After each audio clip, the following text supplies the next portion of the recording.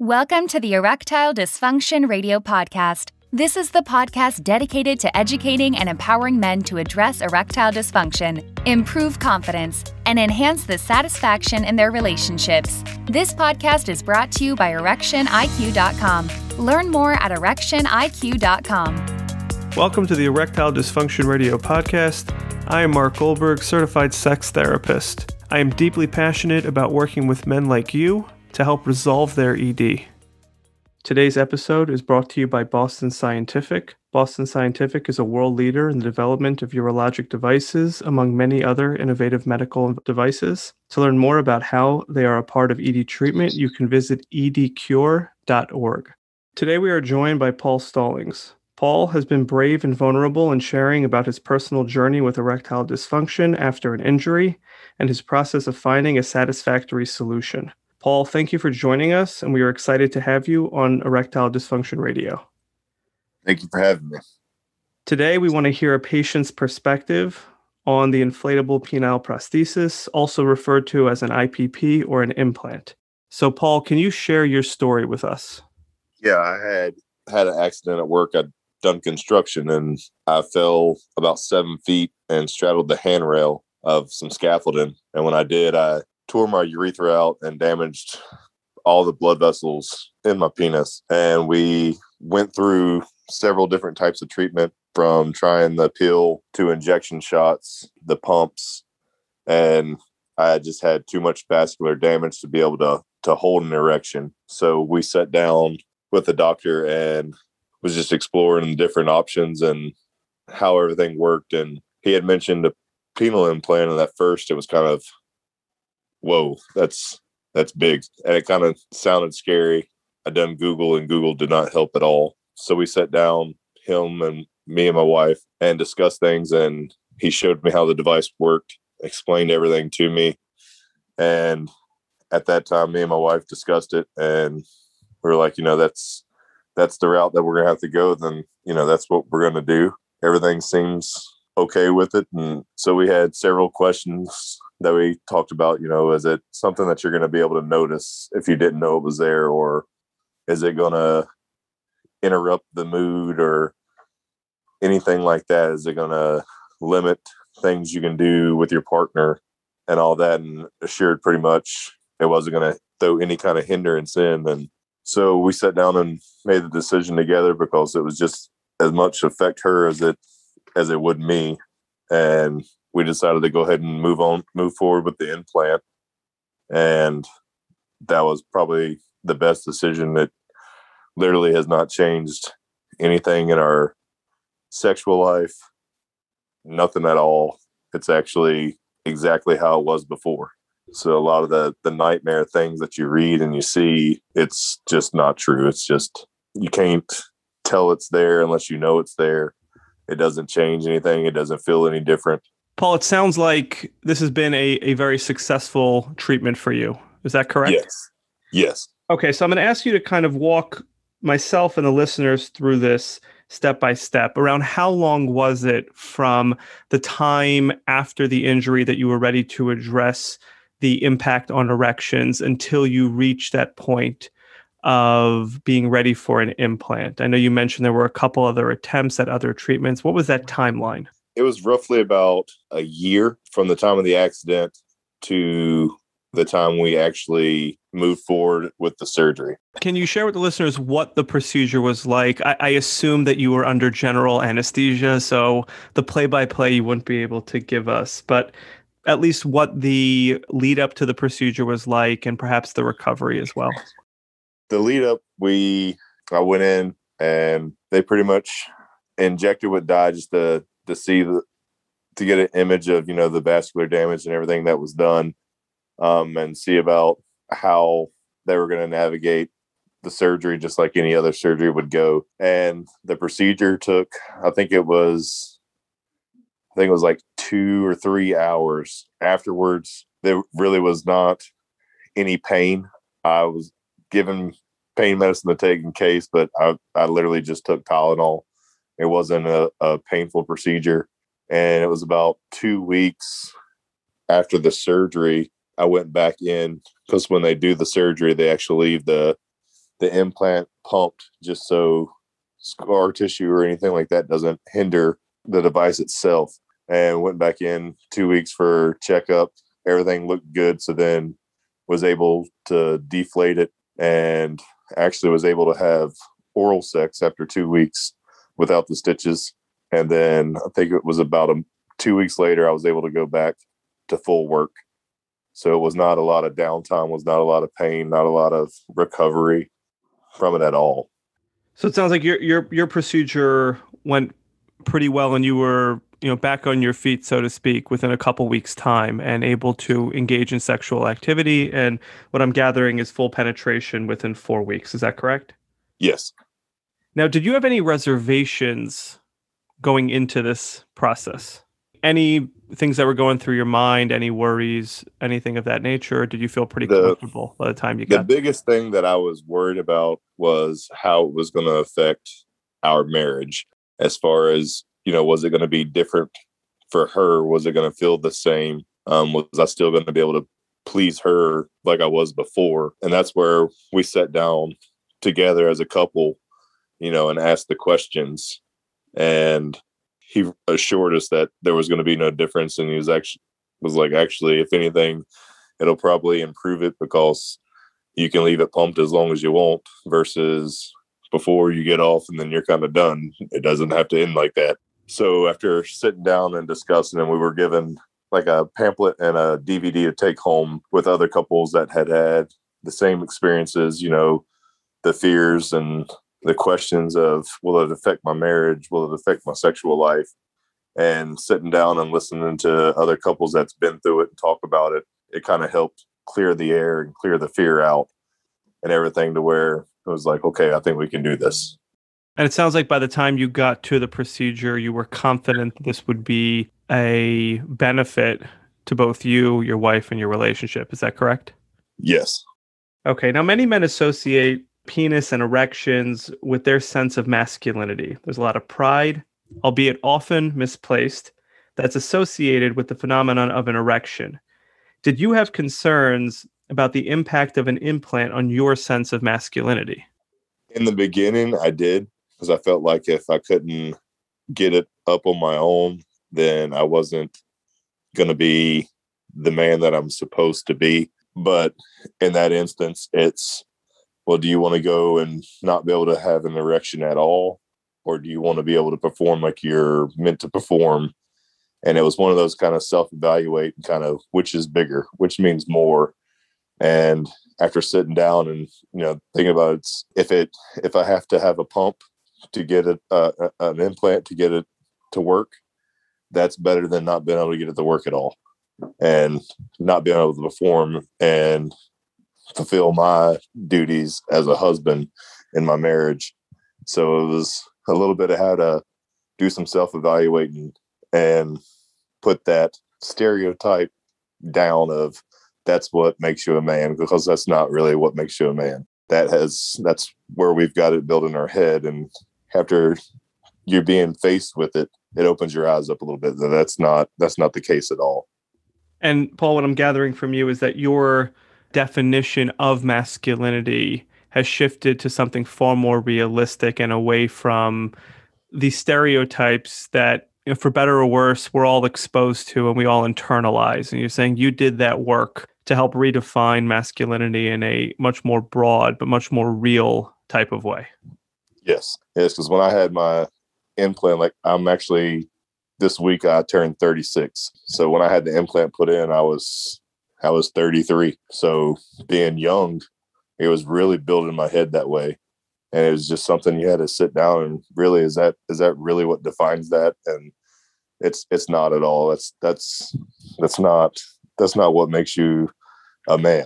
Couldn't have said it better. I mean, it's a it's a misnomer that impacts men whether they're going through erectile dysfunction or not and if they are even if they're not going to be having an implant the masculinity construct that men hold on to is oftentimes very not helpful and oftentimes misguided and misplaced. Now, Paul, generally, sexual desire is a key component in a natural erection. An implant can circumvent some of that. do you find that the level of desire impacts your experience? And if so, how does that work? Honestly, it doesn't. The implant has not affected that at all. I mean, I still have the same desires as I did before. And I was worried that it would kind of offset the mood to be able to just go and do it. But the implant itself is so easy to work to where you don't really lose that passion or that lead up. It's it's not changed the desire at all. If anything, it's actually enhanced it because now I'm like, we can go anytime at all. Like it doesn't matter. Like, and it's it's actually probably enhanced the desire more. In other words, the implant and it's obviously very reliable has created an atmosphere. I, I'm gathering that there's actually less pressure and more reliability with erections, leading to increased desire. And I think you've also mentioned that you can keep the erection inflated for as long as your partner may prefer, even if you've reached orgasm yourself, which yes, I imagine can also enhance that experience. Yes. Many men worry about having to make accommodations to facilitate better erections. And this is something that I see across the board. And those accommodations could be an implant, it could also be medications, it can even be a sex position. Did this concern you in the beginning of using an implant, or did it seem to have no impact at all from the get go?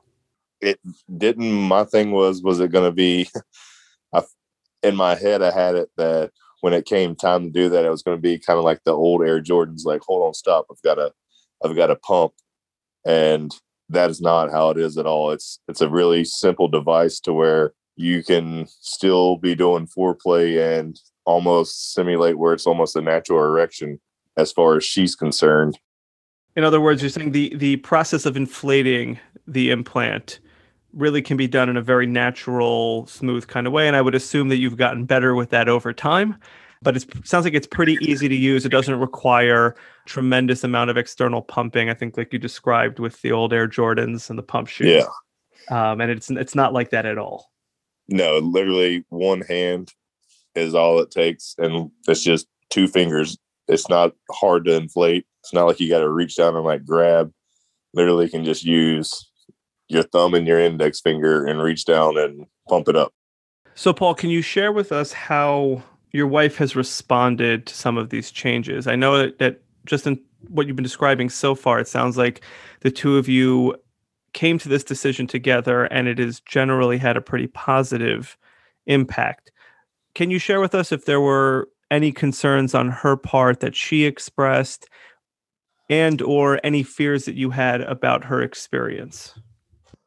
Um her first concern was just like it was one of mine was is this gonna kind of eliminate the the intimacy you know lead up? And after we got to that first she was nervous you know is this gonna hurt you know you or is this gonna hurt me or anything? And then the more like i said we're in this together so the more we played around with it and started experimenting it didn't change anything at all it actually enhanced things.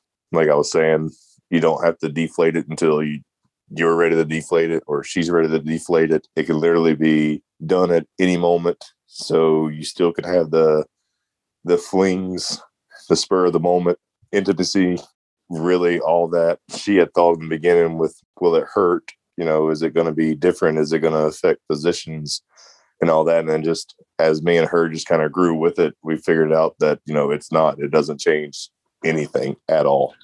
To that end, many men experience performance anxiety. It's a very well known concept and a very common feature that men and people in general will experience in sexual situations. Now, I understand that the implant is very reliable. I don't know what your baseline performance anxiety was prior to the injury and p- prior to the implant. What I'm wondering is did that end up eliminating or decreasing performance anxiety that may have existed before you had this procedure? Yes. Like when we were experimenting with other stuff, taking the pill was one of those when I took it, is this going to work? Is this not going to work? If it does work, is it how long is it going to work? Just like with the pump. And one of the biggest disappointments was when we did the injections, it actually worked for just a little bit.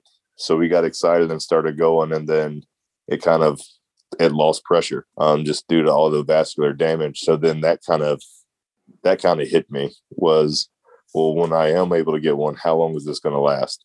You know, is it it's like a ticking time bomb? Is it is it going to last long enough? And so then that period, it did kind of affect me a lot. But then after receiving the implant and having it now three years, there's no anxiety at all. I know that when I'm ready or when she's ready, it's going to work every time. We've never had an issue with it at all since we've had it. So since then, since getting the implant, all that initial fear from the beginning with trying the other stuff has been completely eliminated. And it sounds like you have a renewed sense of confidence that may be above and beyond a level of confidence that you've experienced in the past. Because, like yes. you were saying earlier, knowing that you can continue to engage in the types of sex that you and your partner want to be having, even if you have achieved orgasm, which almost always will lead to a loss of erection naturally, you're able to keep going and ensure that your partner has more of the experience that she's looking for. Yes. I gather that you are a fan of the implant that has had a very positive impact on your life.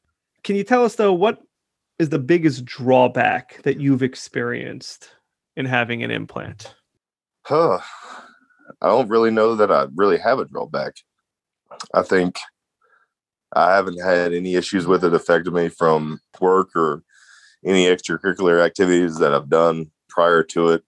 I still am active and play men's softball, still play basketball. I still go to the gym and work out, jog, run. I really don't have any issues with it at all. I have, and I haven't since I've had it. I've, I've yet to find anything that it stops me from doing or hinders me from doing. Um, I'm still able to get in the the floor and wrestle with my kids like I did before. I'm still able to to do everything I did before. So it hasn't put any kind of hindrance in, in my life at all. So, Paul, to wrap up, what advice would you give to a man who is excited for an implant but is hesitant about making this decision? To sit down and just do a self evaluation. What's the fear that's holding you back? Is it the pride issue? Is it, well, I don't know how this is going to work? And then you know sit down with your doctor and ask those questions. That's what they're there for. They're there to help you understand and eliminate those fears that you have. And that's one thing that i have to say for the doctor. He every question that i asked every fear that i had he was able to shed some light onto it and point me in the direction for more information and where it's not just him talking but for me to read for myself from other people. And then you know is it worth the anxiety of not knowing if you can or doing an implant to where you know you know what's going to work what's your why that's what you really got to figure out with and then you know if you're in a relationship make sure you involve your partner it affects them just as much as it affects you because if you aren't able to that affects your marriage that affects your relationship it affects your emotional connection just as much as your physical connection. So they have to be a part of that decision as well.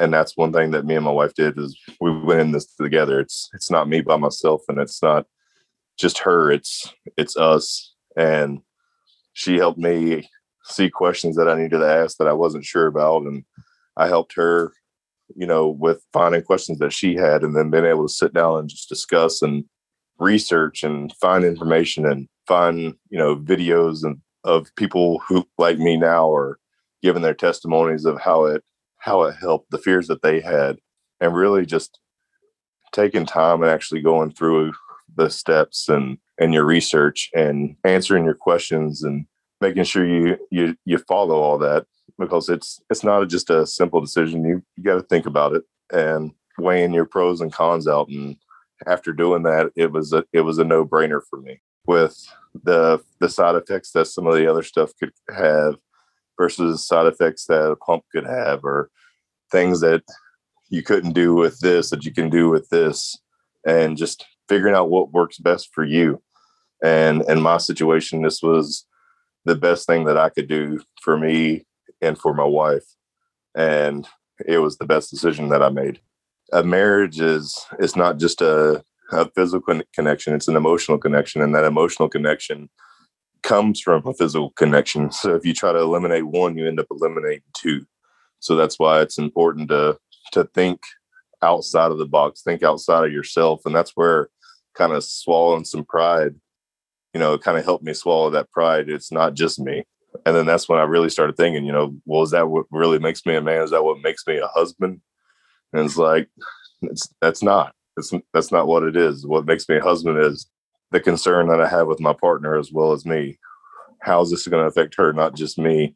And then that kind of helped me eliminate that that pride that that's what makes me a man. And that's why it was really important to have her with me and us going through it together because that's that's what it's about. It's it was about me and her, not just me.